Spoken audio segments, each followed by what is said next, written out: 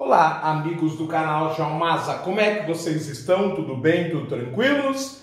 Meus amigos, se vocês puderem e quiserem se inscrever no canal, deixar um like, um joinha, um comentário, acionar o sininho das notificações, tudo isso ajuda o canal a crescer. Quem vos fala é o professor Carlos Maza, muito obrigado. E na edição de hoje, nós vamos passar a limpo aquilo que aconteceu na primeira semana do mês de outubro, naquela estrutura que vocês já estão acostumados. Nós lemos a manchete utilizando o estado de São Paulo e algo que aconteceu no setor internacional. Para tanto, nós vamos começar com o jornal dessa sexta-feira, 1 de outubro de 2021, em edição 46.735. Projeto que impõe barreira a super salários para no Senado. CCJ recebeu texto em agosto, mas não definiu o relator. Senadores dizem que judiciário faz pressão contra a medida na página A11, no setor internacional, crise migratória de haitianos se espalha pelo México, que retoma deportações. Volta para casa. Milhares de refugiados estão abrigados em um estádio na fronteira sul com a Guatemala e outros tentam sobreviver no norte enquanto buscam entrar nos Estados Unidos. O governo mexicano retoma voos com deportados, envia 70 pessoas de volta para o Haiti. Bem, pessoal, no dia seguinte, portanto, um sábado, 2 de outubro, nós tínhamos Quase 100 mil alunos ainda não têm aula presencial em escolas do estado de São Paulo. As prefeituras de 23 cidades alegam risco de variante do coronavírus e falta de vacinação dos professores. Pois é, estado de São Paulo que está mais avançado na vacinação, parece que ainda escorrega em alguns pontos. No setor internacional, Portugal vacina 85% de sua população e se torna laboratório para a reabertura. Normalidade. Com indicadores em queda, portugueses ostentam taxas de mortalidade igual à metade da média da União Europeia e cerca de 10% da dos Estados Unidos. Em Lisboa, clima é de triunfo e alívio com a volta da boemia, dos bares com música ao vivo e do velho trânsito da capital. As pessoas estão nostálgicas do passado e até questão de, de trânsito para buscar a normalidade elas estão requerendo.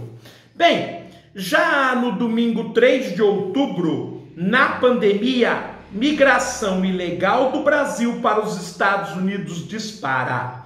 Com a crise econômica, efeito Joe Biden e falta de vistos, 47.400 pessoas são detidas na fronteira em 11 meses, mais do que em 14 anos. Quer dizer que a política de Joe Biden em relação aos migrantes é linha dura e se achava o contrário.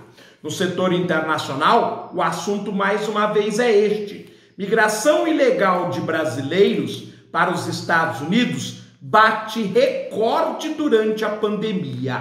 Clandestinos, crise econômica agravada pela Covid e esperança de menor controle migratório com Joe Biden forma combinação que fez 47 mil migrantes do Brasil serem detidos na fronteira com o México entre outubro de 2020 e agosto de 2021, mais do que os 14 anos anteriores da migração de brasileiros para os Estados Unidos.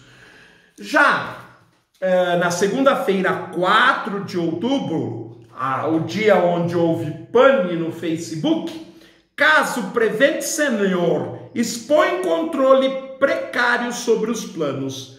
Antes das revelações da CPI da Covid, a Agência Nacional de Saúde indicou experiência exitosa da empresa no combate à pandemia. Depois descobriram que a empresa, o plano de saúde, na verdade, chegou a praticar eutanásia. O inacreditável ocorreu. No setor internacional, líderes mundiais são acusados de esconder milhões em paraísos fiscais. Isso aconteceu no Brasil também nesta semana. Mega vazamento. Dados de 14 escritórios de advocacia mencionam 14 chefes de governo ou estado na ativa e 21 que deixaram o cargo. Não é crime ter patrimônio em empresas offshore, mas nelas falta transferência sobre qual parte dos políticos expostos fez carreira. Nós descobrimos, inclusive, que o ministro da Economia do Brasil, Paulo Guedes, mantém empresas offshores ou investimentos nas mesmas no exterior. Na terça-feira, 5 de outubro, Pane Global expõe dependência de aplicativos do Facebook. Apagão atinge serviços das plataformas do império de Mark Zuckerberg e afeta bilhões em todo o mundo. Já na página A10, portanto, no setor internacional, nós temos pelo menos oito países apuram denúncias sobre uso de paraísos fiscais por líderes. Desvio de recursos, escândalo envolve casos de corrupção, lavagem de dinheiro e evasão fiscal. Quase 35 governantes atuais e do passado aparecem nos cerca de 11,9 milhões de documentos que vazaram de empresas de serviços financeiros de todo o mundo. Já na quarta-feira, 6 de outubro, nós tínhamos na manchete principal: Brasil quer cobrar 100 bilhões de dólares de países ricos em evento do clima. Ministro do Meio Ambiente repete retórica de Ricardo Salles e diz que valor é promessa das nações desenvolvidas. Nós que fizemos dois programas para repercutir esta notícia. Escassez de carnes e problemas nas entregas ameaçam o Natal dos britânicos no setor internacional, falando da crise, evidentemente, de abastecimento, que aqui foi analisada no seu jornal do Masa.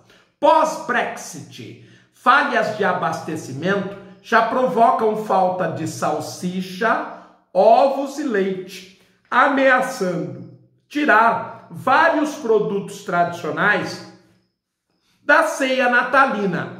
O governo do primeiro-ministro Boris Johnson reconhece gargalos de produção, mas diz que não há solução mágica para a crise não só deveria ter colocado pós-Brexit, como consequência do Brexit, o que os britânicos estão sentindo.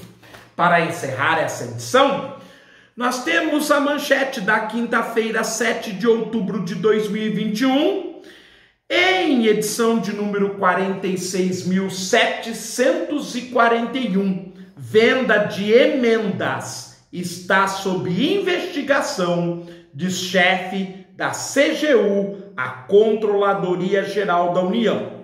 Esquema envolveria propinas em troca de liberação de verbas do orçamento. Ministro vê corrupção no tratoraço.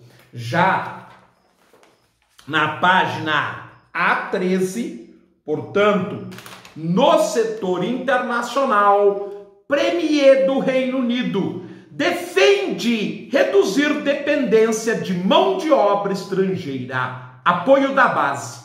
No discurso que fechou a conferência anual do Partido Conservador em Manchester, Boris Johnson mal menciona a crise de escassez e adota tom populista eleitoral, muito criticado por empresários britânicos, analistas, sindicatos e líderes de oposição. Pois é, a crise britânica, como consequência do Brexit, só vai tomando cada vez mais força. Bem, eu agradeço a presença de vocês e espero encontrá-los em uma próxima edição do seu Jornal do Maza. Fiquem bem, até a próxima.